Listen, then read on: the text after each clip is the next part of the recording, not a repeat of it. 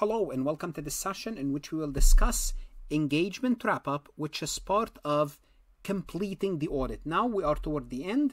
We have certain procedures, we have certain steps we have to undertake in order to close, wrap up the audit.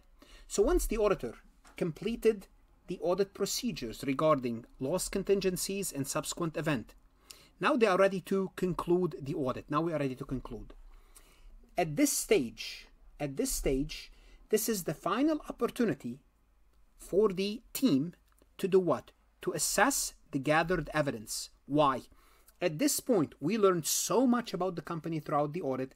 Now we have a better picture of the company itself. Now we can form an opinion on the financial statements and decide what type of opinion we are going to issue. But few remaining tasks remain on hand that we have to complete, and those are the final analytical procedures, AP. Now you might be saying, hold on a second, I think we did the analytical procedures. Yes, we did the analytical procedures during the risk assessment at the beginning of the audit. We also conducted analytical procedures throughout the audit. That was an optional step. At the end, we have to do the final analytical procedures we have to evaluate audit findings and we're going to have a lot of findings. And as a result of the evaluating the audit findings we are going to re- reassess materiality. Because that could that could change. We are at the end of the audit. We know so much about the company. We might reassess the audit risk which is inherent risk control risk fraud risk. We're going to have a final evaluation of this. Also we are going to evaluate the misstatements found misstatements found during the audit in this session, I'm going to focus on one, analytical procedures, and two, and two, I'm only going to discuss reassessing materiality, reassessing audit risk. The third point, which is evaluating the misstatement found during the audit, would merit its own recording because it's important that you understand this topic, especially for the CPA exam, inside out. Also, we're going to finalize the working paper we're going to perform an engagement quality review, and we're going to complete the documentation for the audit. And I will have different session for these topics. Let's go ahead and get started with final analytical procedures. Before we proceed any further, I have a public announcement about my company, farhatlectures.com. Farhat Accounting Lectures is a supplemental educational tool that's going to help you with your CPA exam preparation as well as your accounting courses. My CPA material is aligned with your CPA review course such as Becker, Roger, Wiley, Gleim, Miles. My accounting courses are aligned with your accounting courses broken down by chapter and topics. My resources consist of lectures, multiple choice questions, true false questions, as well as exercises. Go ahead, start your free trial today. What are analytical procedures? Because analytical procedures, as I mentioned, they are used during risk assessment, which is at the beginning of the audit, during the audit as a risk response. Again, this is an optional step, and this is a required step toward the end. Analytical procedures are ratios analysis, connecting financial with non financial data, looking at trend, looking at industry standard. Analytical procedures are a cheap but an effective and a very strong method in learning about red flags and learning about the company. So in the final stage, the procedures confirm the financial whether the financial statements align with the auditor revised expectation. What happened here is this. Basically, we have quasi the final numbers. Now we are running the analytical procedures again. And we already know we have certain expectation in mind we're going to see those are the expectation, those are the actual analytical procedures. Do they align or is there a discrepancy between them based on the evidence that we collected throughout the audit? Okay. For example, an auditor may expect a lower value for inventory after recommending and witnessing an adjustment to account for to this account for abs- obsolete inventory. Well, if throughout the audit we notice we, need, we needed to write down a lot of inventory, well, we accept inventory to have a lower percentage of sales of or of current assets. Well, is this really true when we run the analytical procedures? Also, keep in mind analytical procedures take into account industry trend. For example, if the revenue is declining in the computer manufacturing industry, well, we expect that revenue will decline if we are auditing a computer manufacturing company. So that also considered part of the analytical procedures. And any inconsistencies between what we expect as auditors and the final financial statement would require us to do what? Take a look at additional audit procedures to gather more evidence to reduce the risk of material misstatement to acceptable level. Something is something is not right. I mean, believe me, guys. I know you might be, you know, if you're studying for the CPA exam, just believe me. And if you are a seasoned auditor, you know this that if you audit the company for one to two years or more, looking at analytical procedures, it will tell you exactly what's going on within the company if you understand the company. It's, it's a very, as I mentioned, cheap or cost effective way to learn about any misstatement or red flags real quick. Now, the specific procedures that you would utilize depending on the auditor's judgment, how much work you have to do, and also depend on the client. Then we have to do what? After we do the final analytical procedures, we have to evaluate the audit findings. And evaluating the audit findings would involve us to be involved in three different things. Auditors engage in the following activities. One, we reassess materiality that we made uh, throughout the audit. And that materiality was set at the beginning, was was changed maybe throughout the audit, and at the end it could be reassessed as well. We are going to reassess the audit risk considering the finding throughout the audit, which include inherent risk, control risk, and fraud risk. And we are going to assess, evaluate the identified misstatements discovered during the audit, and this will be a separate session by itself. Starting with reassessing materiality, which is basically final evaluation of the materiality. Now, during the audit, Conclusion Auditor reassess the initially determined materiality level to ensure it's suitable based on the procedure outcome. Why? Because at the beginning we set materiality at a certain number. Now during the audit we did we might have revised it. Why? Because we learn about the company. How? Well, we conducted analytical procedures. We did test of detail. Then we learned we learned whether we were correct at the beginning or we need to increase or reduce materiality. We are aware of new information. This is what I'm trying to say. That could lead to a different materiality determination because at the beginning, we kind of not guessed it, we, we, we did our best judgment. Okay, let's take a look at the revised materiality example just to show you why would it be material, material why will be revised. During an audit of a manufacturing company, we set materiality initially at 100,000. And this is based on the company's financial statements, ratios, industry benchmark, our own judgment. However, during the course of the audit, what did we do? We discovered that this company is facing significant lawsuit related to a defective product that could potentially result in substantial financial losses. Is this new information? Yes, it is. So, what do we have to do upon learning this new information? Well, we're going to realize that there's a larger could be a larger impact on the financial statement. So what do we do? We revise materiality. We revise materiality to 50,000. Why? To appropriately reflect the consequences of this lawsuit that we were not aware of. This is an example.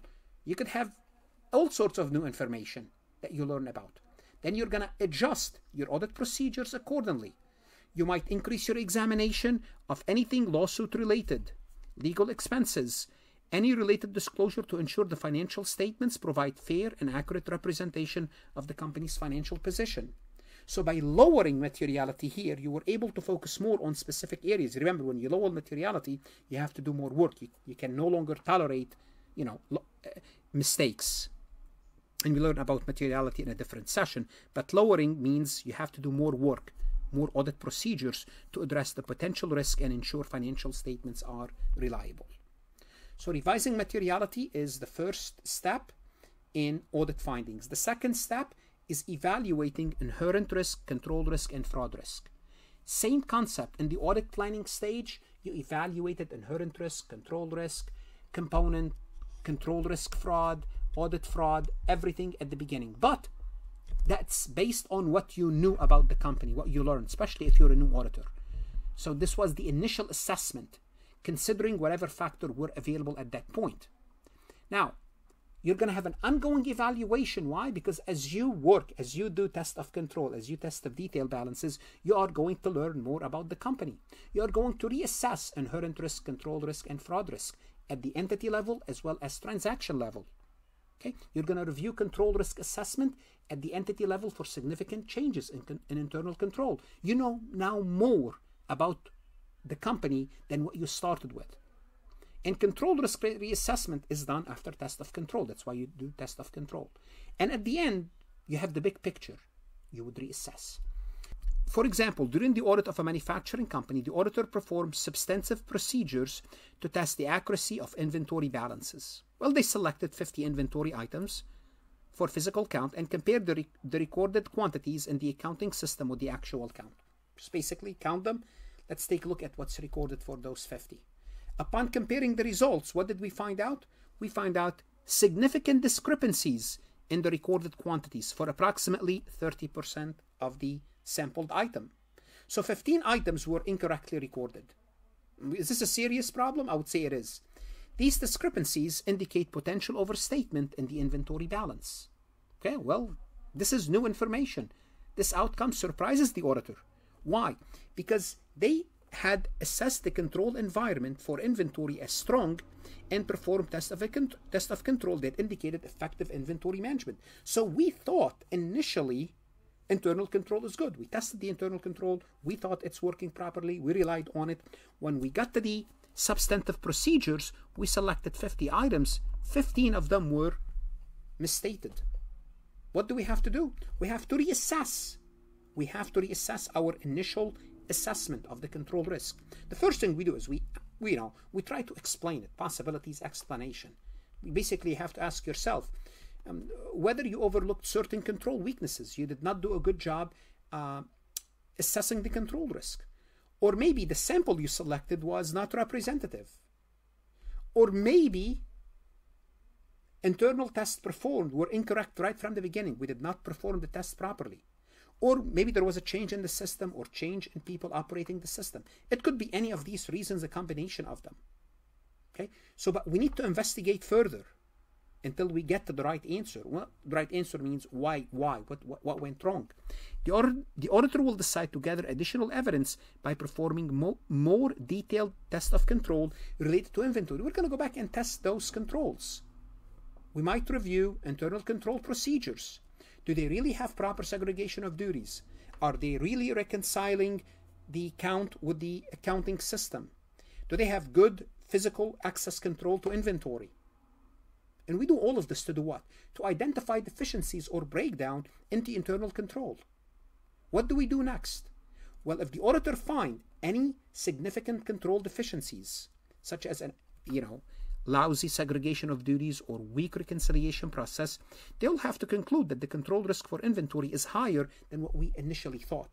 Now we're talking about here about control deficiencies, which increase the risk of material misstatement. Remember, we have control deficiencies, or we might have many control deficiencies that could result to significant deficiencies or material weakness, or we could have right right right from the get-go a significant deficiency or a material weakness which is a more serious problem what are they? Significant deficiencies or material weakness? They indicate that the control in place may not effectively prevent or detect error or fraud in a timely fashion. We have serious problem here. Okay? In response, what do we have to do? Well, we have to do more work. Expand our substantive testing by selecting a larger sample for the physical count or whatever count we are doing, whatever procedures we are performing, inventory or something else. We might have to do more analytical procedures or perform substantive tests of of detail to find out if there's any potential material misstatement in the inventory balance. Here we are blaming what? We are blaming internal control basically. We're trying to find out what's the problem with the control. But what if something is fraud related? Now it takes us totally to a different level. Because now we looked at the audit finding, there's something wrong and it's a fraud related. If fraud is detected in an account or class of transaction, the materiality here is not an issue. We forget about materiality because fraud is rarely is rarely isolated to one area. So once is one if once a fraud happened in one area, it mostly it most likely exists in some other area in the company. Okay. Discovery of fraud triggers the auditor to reassess the risk materiality, and how much work to do in terms of audit procedures. Now, totally different ball game. You put a different hat on. Previous assessment of management and employee integrity now are questioned and reviewed, especially if senior management is involved. And we're going to see why senior management is more risky when they are involved. Evaluation of the employee's scope of responsibilities is conducted. Are these people on the top involved in this? Why? Because if people on the top are involved, they might have many areas under their control. It means they have more room to commit fraud. For instance, if a divisional controller is responsible for prematurely recognizing revenue, well, well, that's a problem that we identify. But there's a good chance if they're prematurely recognizing revenue and they are on the top and they're committing fraud in one area, well, they have the option, the opportunity to commit fraud in other areas. They might be also inclined to partake in other inappropriate practices to manipulate earnings, such as capitalizing expenses that should be expensed. What we're talking about here? Well, we're talking about serious material misstatement here. Why? Because people who are committing the fraud are on the top. It doesn't mean if they're on the bottom, it's not. It's not. It's it's it's good, but on the bottom they may not have an as much opportunity as someone who's on the top or she's on the top. So the detection of any fraud necessitate careful reassessment and investigation to address risk and potential impact on financial statement. So here the auditor will have to do more work to support their conclusion when there's fraud. So what to do when the fraud exists? What is the auditor responsibility? Well, you have to report the fraud. To who? To management at a level above where the fraud occurred. So if it occurred, if it if it's level three, you go one step above. You report it to level four. Okay. I'm sorry if if if, if depending on what the level is, if, if four, three, two, one. So if this is the lowest level and it happened here, you report it to here. If it happens here, you report it to here. So the higher the number, the higher the level, the one level above. So what happened if senior management is involved in the fraud? Then you would go to the people in charge of the company, the audit committee, board of directors, people who are in charge. Well, what if these people are involved? Well, you should have been involved in this audit in the first place, right? If you did your, due diligence, then we'll see what you do. You might have to just let go and withdraw. But what's the responsibility of the people who are in, char- in charge? The audit committee, the board of directors, what do they have to do? They have to take appropriate action to address the reported fraud, investigate, do internal investigation.